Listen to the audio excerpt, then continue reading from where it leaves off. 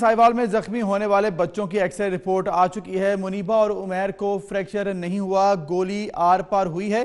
دونوں زخمی بہن بھائی سرجیکل ایمرجنسی میں اس وقت زیر علاج ہیں۔ تو یہ آپ کو تمام صورتحال سے آگاہ کریں۔ زخمی بچوں کے حوالے سے سانیہ سائیوال میں جو دونوں بچے زخمی ہوئے، ان کی ایکسرے رپورٹس آ چکی ہیں۔ منیبہ اور عمیر کو فریکچر نہیں آیا، جبکہ گولی آر پار ہوئی اور دونوں زخمی بہن بھائی سرجیکل ایمرجنسی میں اس وقت زیر علاج ہیں۔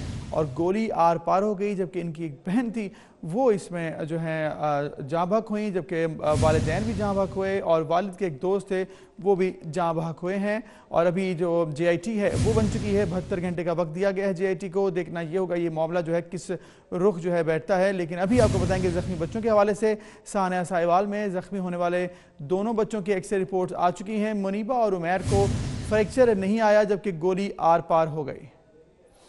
ندیم خالد سے ہم بات کرتے ہیں۔ ندیم بتائے گا رپورٹس آ چکی ہیں۔ کیا کہنا ہے ڈاکٹرز کا؟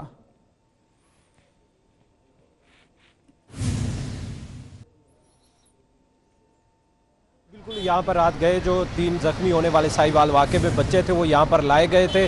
ان کی ایکس رے رپورٹس کی گئی. ایکس رے رپورٹس کے مطابق تینوں بچے جو ہے اس میں ایک ہادیہ جو تھی، اس کو اسی وقت ہی ڈسچارج کر دیا گیا تھا، جبکہ دو بچے یہاں پر ابھی تک ایڈمٹ ہے جس میں عمیر ہے، نو سالہ۔ عمیر کو ایک گولی لگی ہے، جو کہ اس سے ایک رائٹ جو لیگ ہے، اس میں سے گزری ہے، لیکن اس نے ہڈی کو ٹچ نہیں کیا، جس کی وجہ سے ہڈی فریکچر نہیں ہے۔ تو اس کو یہاں پر ابھی طبی امداد جو ہے، وہ فراہم کی جا رہی ہے۔ اس کے علاوہ جو دوسری بچی منیبہ ہے، اس کو رائٹ ہینڈ پر شیشہ لگا تھا، جس کی وجہ سے وہ زخمی ہو گئی تھی اور اس کی بھی جو حالت ہے وہ خطرے سے باہر ہے۔ ڈاکٹرز کا کہنا ہے کسی قسم کی کوئی خطرے کی بات نہیں ہے، جبکہ تیسری بچی جو ہے وہ بالکل ٹھیک تھی اور اس کو رات گئے اس کے چاچو جو عمران ہے اخلیل کے چھوٹے بھائی، وہ یہاں سے لے کر گھر روانہ ہو گئے تھے اور اس وقت جو میڈیکیشن وغیرہ جو سائیوال میں پرووائڈ کی گئی اس کو تھوڑا سا بدل کے ڈاکٹر نے میڈیکیشن وغیرہ چینج کی ہے اور اس وقت ہسپتال کے اندر بچے جو موجود ہیں، جن کو ڈاکٹرز کا کہنا ہے کہ کچھ دیر بعد ڈسچارج کر دیا جائے گا۔ جی۔ ٹھیک ہے، شکریہ ندیم، آپ نے ہمیں آگاہ کیا۔